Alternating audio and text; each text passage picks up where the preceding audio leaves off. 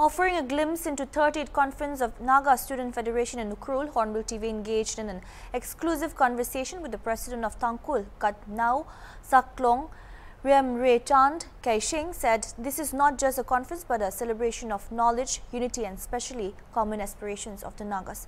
He also said that by hosting the conference in Ukhrul, youngsters will understand how Nagas really are. Thank you for joining Hornbill TV. And as a host for the 38th uh, NSF conference, how significant do you think this conference is? And then, uh, is the TKS trying to send out a message by holding a conference here in Ukhrul? Uh, well, as a matter of fact, uh, we are having uh, facing a lot of turbulence.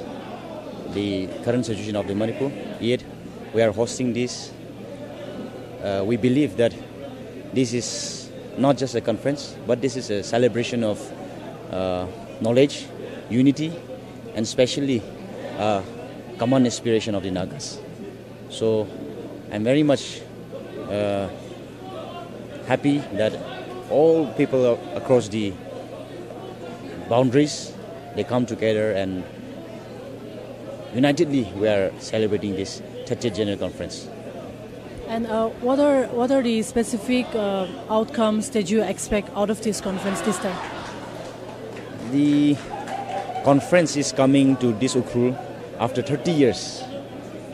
Normally, the Naga youngsters, we know about Nagas, but we are not fully aware how Nagas are diversely placed.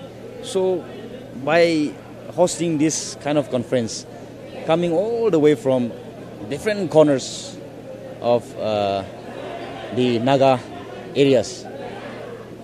The people, especially from our community, the youngster will also came to understand that how Nagas are diversely placed, and they also feel the oneness that oh Nagas are like this, the uh, reality that how Nagas families are placed in different uh, areas, and this conference comes once in youth, youth's life.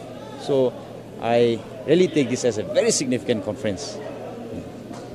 Thank you so much.